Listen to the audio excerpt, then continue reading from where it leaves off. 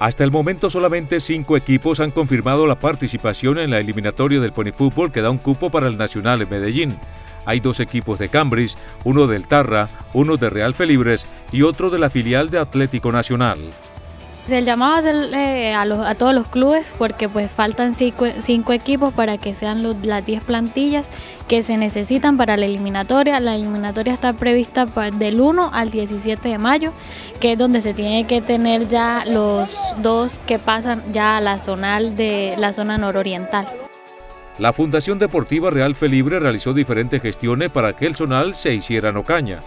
Van a venir pues equipos de todo el Santander, a venir a participar acá en Ocaña precisamente y pues eh, qué más que haya dos equipos de acá de Ocaña que nos representen y que lleguen bastante lejos. Entonces hacerle el llamado a todas esas eh, escuelas de fútbol de menores que por favor se inscriban, eh, es la categoría 2007. La Fundación Deportiva Real Felibre ya tiene los permisos correspondientes para la utilización del Estadio Hermídez Padilla en esta eliminatoria del Baby Fútbol programada para el mes de agosto.